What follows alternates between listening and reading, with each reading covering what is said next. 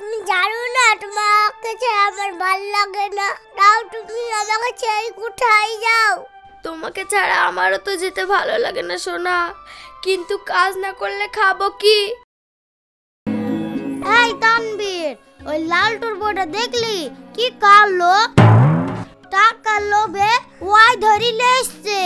ওর ছেলে ওর বেটার বউ ওরা ফার্স্ট লাসুক না হলে তোমারও তো গায়ে বাজছে কেন?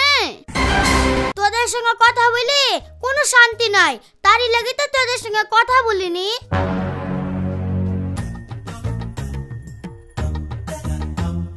কই গো কমনে গেলা? একটা মিনিট তো বাড়িতে থাকল না সারা দিন শুধু ধেই ধেই করে এদিক ওদিক লেচি বেড়াইলো। কই গো কমনে গেলা? কি হলো? সময় তো তোমার বাড়িতে পা দাঁড়াই না? এই দেখো তোমার ছেলে ফোন করেছে। কথা বলো। কই দেখি দেখি দেখি। আমার ছেলে ফোন করেছে। হ্যালো সাহেব বাপ তুই ভালো আছিস? হ্যাঁ মা আমি ভালো আছি। তোমরা ভালো আছো তো? হ্যাঁ আমরাও ভালো আছি। মা এই সপ্তাহে তো আমি বাড়ি যাব ভাবছি। তার লেগে তোমাকে ফোন করলাম। বাড়ি আসবে কেন মধু? আর কদিন থাক দুতলার ছাদটা করিলি তারপরে আসবি। মা আমি খেয়েছি কি না খেয়েছি সে খবরটা তো নিল না। আগেই তুমি দুতলার চিন্তা করছ? না না আমি ওইভাবে বলছি নাকি? আসবি যখন বলছিস তাহলে আয়। লোকের ছেলে আছে বিদেশে খেটি খেটি তিন চারতলা বাড়ি ফেলল। আর আমার ছেলের বাইরে যাওয়া দুদিনও হইল না। বাড়ি আসা লাগি লটপট লাগিয়ে দিয়েছে হ্যালো সোনা কেমন আছো? হ্যাঁ আমি ভালো আছি। তুমি ভালো আছো তো? হ্যাঁ আমি ভালোই আছি। একটা খুশির খবর আছে। খুশির খবর? তাহলে তাড়াতাড়ি বলো। আমি এই সপ্তাহের মধ্যেই বাড়ি যাচ্ছি। গিয়ে তোমার সঙ্গে দেখা করব তারপরে বিয়ে। ঠিক আছে তুমি তাড়াতাড়ি চলে এসো ভাই আসছে আমি এখন রেখে দিলাম। মা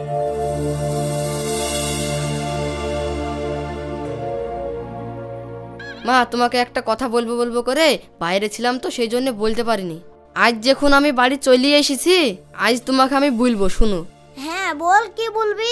বাইরে থেকে আমি ফোনে ফোনে একটা মেয়ের সাথে ভালোবাসা করেছি তো আমি ওকেই বিয়ে করব। হ্যাঁ মধু তুই আর কি কথা বলছিস? আমাদের এখনও বাড়ি গাড়ি কিছুই হইল না। আর তুই বি করবে বলছিস তার মানে? আর চিনা নাই জানা নাই। কালো না ধলো। কিছু জানিস নি অমনি বি করবে বললে হয়ে যাবে। ঠিক আছে মা তোমাদের পছন্দ না হলে আমি বি করব না। আজকে আমি দেখে আসি যদি ফর্সা হয় তোমাকে এসে বলব তারপরে তুমি বিয়ে দিও। ঠিক আছে যা অবস্থাটা কেমন ভালো করে দেখে আসবি। ঠিক আছে মা।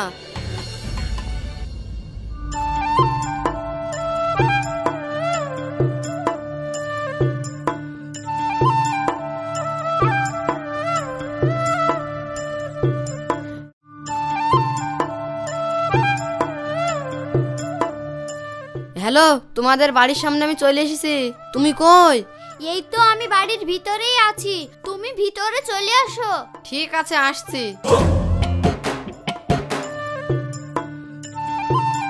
আসো আসো ভিতরে আসো। হ্যাঁ আসছি। কিন্তু সোহানা কই?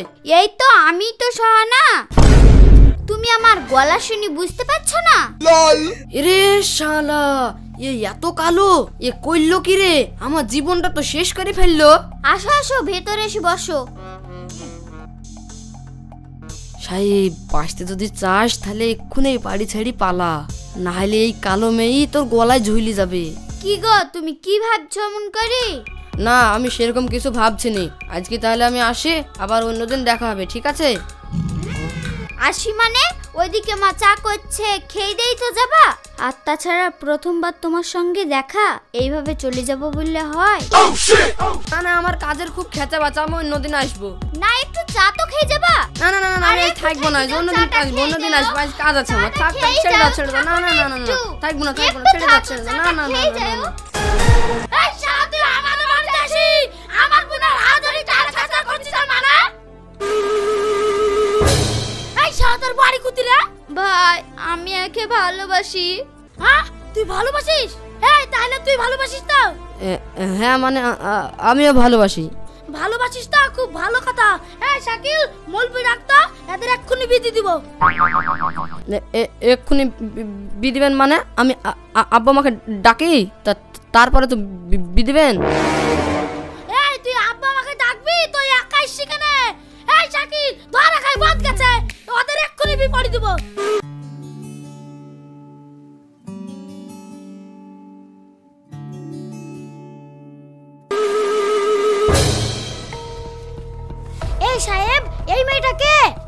আমার বউ। সেই তোমাকে বলেছিলাম না যে ওই ফোনে ফোনে ভালোবাসি? এইটাই সেই মেয়েটা।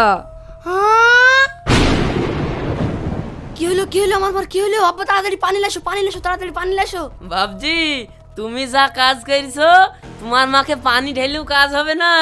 জুতুর সেন্ট শোনাও তারপরে কার উঠবে। আব্বা তুমি ফালতু বকে না তো তাড়াতাড়ি পানি লাসো পানি লাসো পানি লাসো। কি ব্যাপারে সাহেব? তোর মা অজ্ঞান হয়ে পড়ি কেনে? আর বলিস নি রে ভাই এ দামার ছেলি একটু শ্যামলা কালারের মেয়ে বিকারি নিয়ে এসছে বুঝলি? আমার বউ দেখি অজ্ঞান হয়ে গেছে। চাচা এত শ্যাম বন্য না গো এত হাড়ির তলা চেয়েটাও কালো গো। চাচা চাচি তো খুব ঘ্যামলি বেড়ে তো। আমার ছেলির বউ মহারানী লাসবো মহারানী লাসবো এত মনে হচ্ছে কালো রানী লেসছে। কাঁচা খায় তুমি নুনের ছিটা দাও না। ছেলি কোথাকার? এক চড়ে তোর গাল লম্বাকে দেবো জানিস? বেড়া বাড়ি থেকে। আসো শোনা ঘরে উঠে বসো। কে কি বলল ওর দিকে কান দিয়ে তোমার লাভ নাই।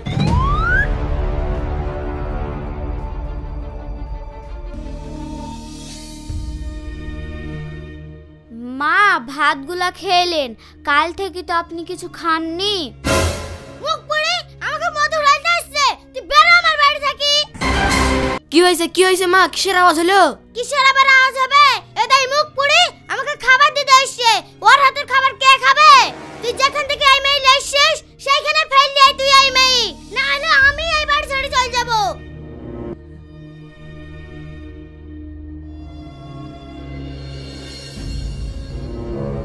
মা তুমি শান্ত হও শান্ত হও। একটা বুদ্ধি বের করো কি করা যায়? কি আবার করবি? কলকাতাতে লি যা লিগে কোনো গলিতে ছেড়ে দিয়ে পালিয়ে আসবি।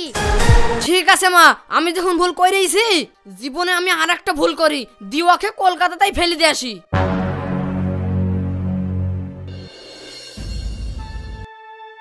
কই গো চলো আমরা দুদিন গিয়ে কোনো জায়গায় বেরিয়ে আসি। ঠিক আছে তাই চলো।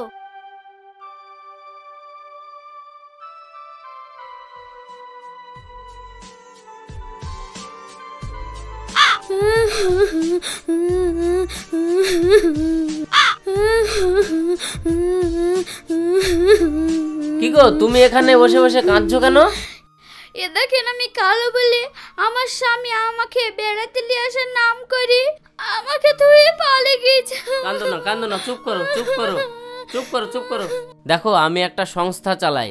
সেখানে আমরা নার্সের ট্রেনিং করাই। তুমি তো বিপদে পড়ে আছো। তুমি যদি চাও আমার সঙ্গে যেতে পারো। সেখানে আমরা তোমাকে ট্রেনিং করিয়ে একটা কাজের ব্যবস্থা করে দিব। তুমি কি যাবে? হ্যাঁ আমি যাব, চলেন।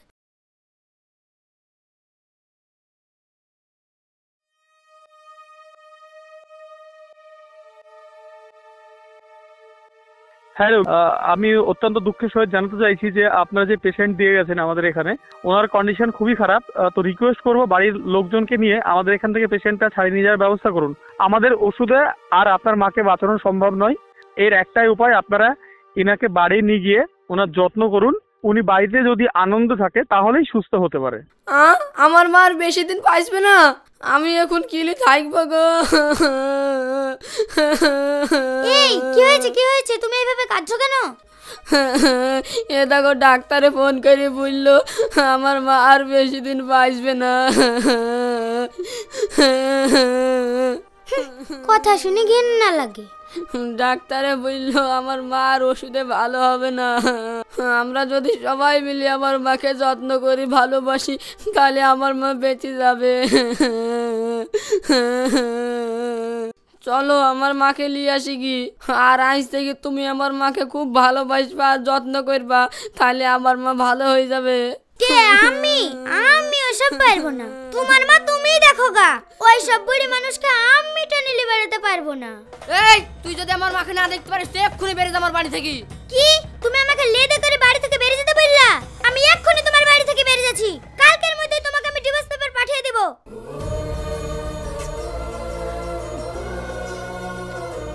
সাহেব তোর মার যা অবস্থা সব কাজ তো আমরা করে দিতে পারিনি। এই টাইমে একটা মেয়ের দরকার। যে তোর মাকে সব সময় দেখাশোনা করবে সেরকম একটা নার্স দেখ। ঠিক আছে আব্বা আমি তাই খোঁজ করছি।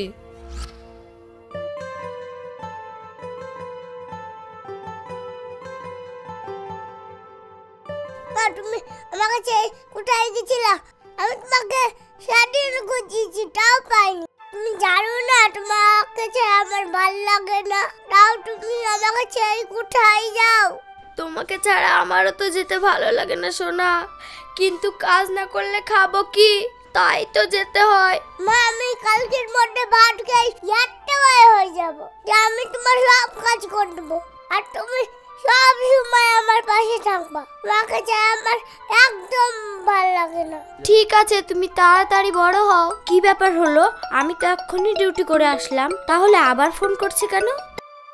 হ্যাঁ স্যার বলুন। এক মাসের জন্য রায়পুর গ্রামে যেতে হবে। তুমি কি যেতে পারবে? রায়পুরে তো আমার শ্বশুর বাড়ি ওখানে আবার কার কি হলো? হ্যাঁ স্যার আমি যেতে পারব। কিন্তু আমার সঙ্গে রওশানও যাবে। ঠিক আছে আমি ওদের সঙ্গে কথা বলে নিচ্ছি। কাল তুমি অফিসে এসে ওদের অ্যাড্রেসটা নিয়ে যাবে ঠিক আছে? ঠিক আছে স্যার।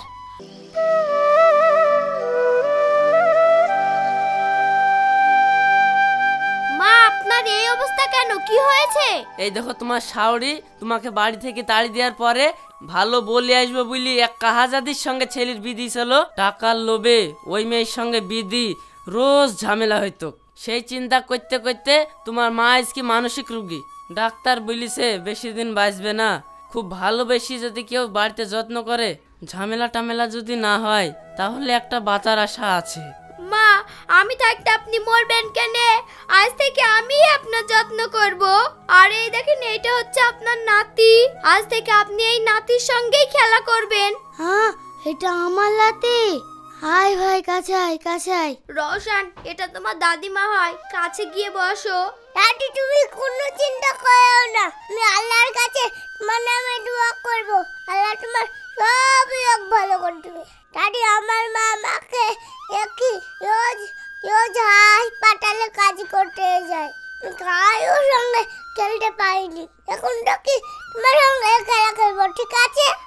দাদু ভাই, আয়, আমার বুক আয়। এখন থেকে আমি তোর সঙ্গে সারাদিন খেলব।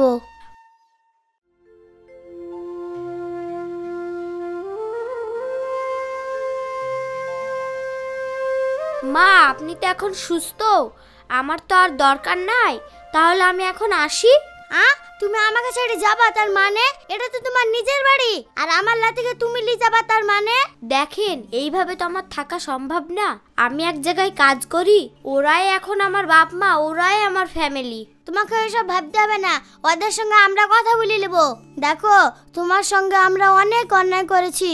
তো আমাদেরকে একটু প্রায়শ্চিত্ত করার সুযোগ দাও। দাদি আমি তোমার নামে দোয়া করছি তুমি ভালো হয়েছো। তোমাকে একটা মোটর সাইকেল কিনে দেবো, তাহলে আমি থাকব। ঠিক আছে ভাই, তোমাকে আমি সব কিনে দিব।